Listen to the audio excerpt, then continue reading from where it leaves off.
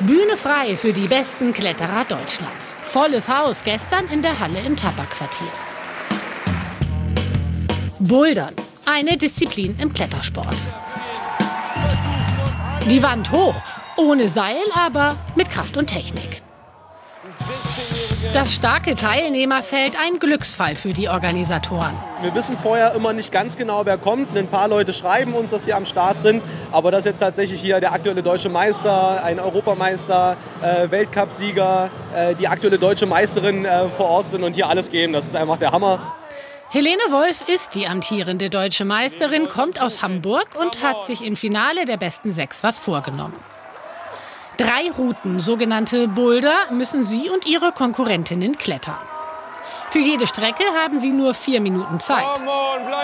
Das Ziel, es bis nach oben schaffen. Du schaffst das, eine Hand ist dran. Für mich ist immer der erste Boulder sehr herausfordernd, weil man da irgendwie noch so sehr nervös ist und ich weiß, was einen erwartet. Aber spätestens ab dem ersten Boulder wusste ich, da draußen ist eine coole Stimmung und dann hat es einfach nur noch Spaß gemacht. Spaß haben viele Menschen beim Bouldern. Die Kletterdisziplin ist in den vergangenen Jahren immer beliebter geworden. Mehr als 500 Hallen gibt es mittlerweile in Deutschland. Geklettert wird entlang einer Farbe. Die Routen haben unterschiedliche Schwierigkeitsgrade.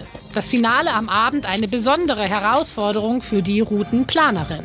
Die Routen im Finale sind oft gar nicht so schwer wie die schwersten Routen in der Qualifikation aber oft komplex. Das heißt, man will schon auch Fehler provozieren oder gucken, dass die auch überlegen müssen, was, was, wie mache ich das, wie komme ich da hin, was kann ich verändern, dass ich die Route doch noch schaffe. Und das halt innerhalb von vier Minuten.